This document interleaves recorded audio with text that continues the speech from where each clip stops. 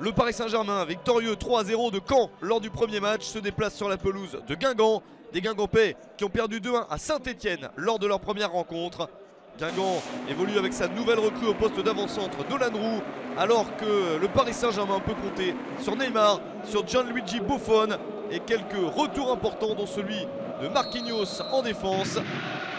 Kylian Mbappé est aussi de retour dans le groupe mais débute le match sur le banc. La première action est Guingampèse avec Marcus Thuram qui passe de centre en retrait. La reprise à bout portant et la parade exceptionnelle de Gigi Buffon.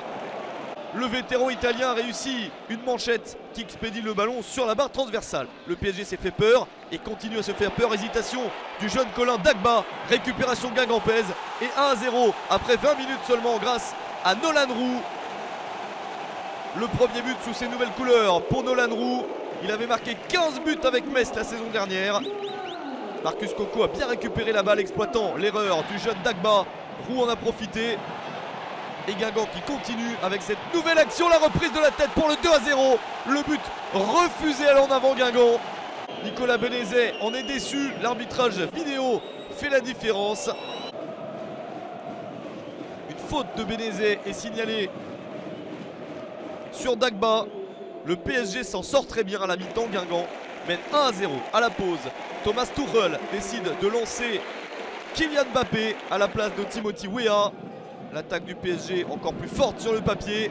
Et les Parisiens qui insistent avec une coucou pour Neymar.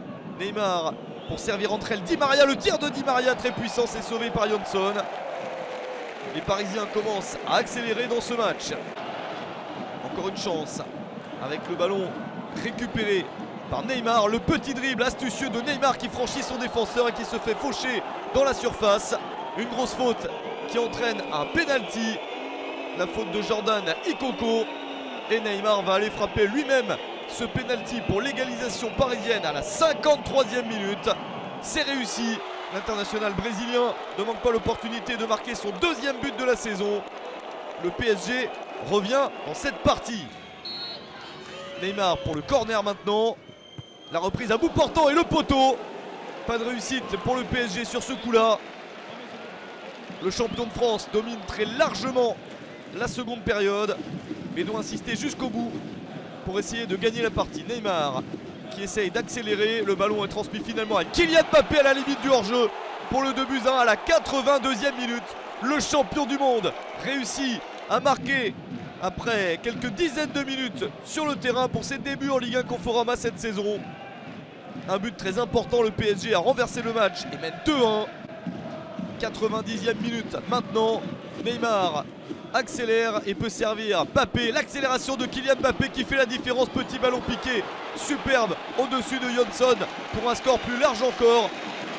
Un doublé pour Mbappé en 8 minutes seulement. Il avait marqué 13 buts la saison dernière. Il espère en mettre beaucoup plus. Il fait une grosse différence lors de la seconde période de ce match. Le PSG a peiné pour se détacher, mais la victoire est obtenue sur un score de 3 buts 1 sur le terrain de Guingamp.